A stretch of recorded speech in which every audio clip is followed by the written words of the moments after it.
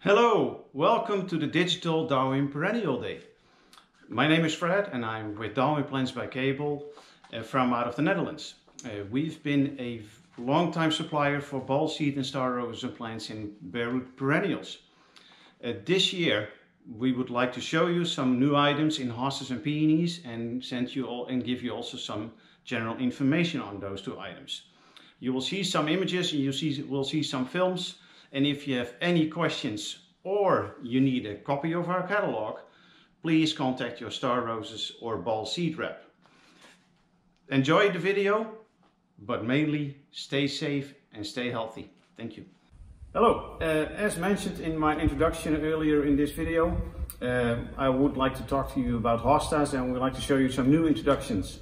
And I'm here together with Luke, and Luke is a well-known grower and breeder in Holland of hosta varieties and we would like to uh, show you a couple of new ones that of course we will have in our next year's catalog. So we have two varieties here, Hosta Karen and Hosta Patriot. And as everybody knows, there's a shortage in Patriot and Minuteman the last two years because of the heat two years ago in the fields. But a great sub for those varieties is Karin. And uh, I just want to ask Luke to tell you what the difference is and how many there are available. Well, Karin is actually uh, very similar. The only difference is it's more cupped than Patriot. That's actually the biggest difference, but cuts the same species. And how many are available for the coming season? Uh, around 75 to 100,000 okay. of. All right.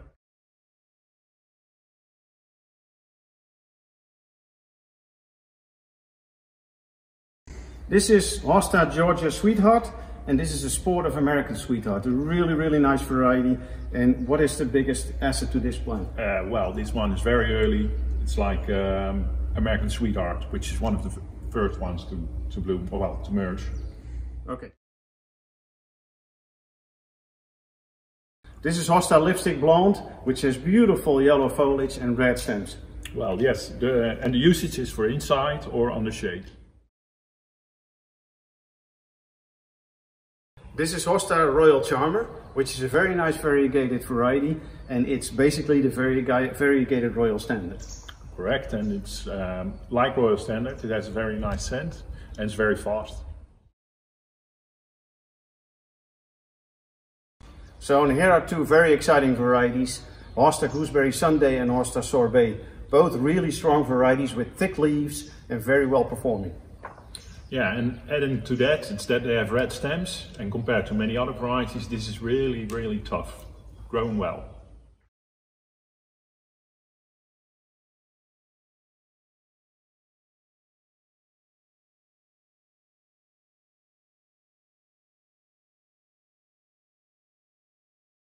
Here we have a field of 200,000 peonies in the Netherlands.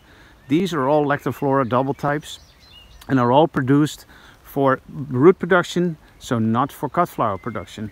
This means the plants will perform better in a container. It is still very early in the season, so within the next coming two weeks we will see some flowers coming up.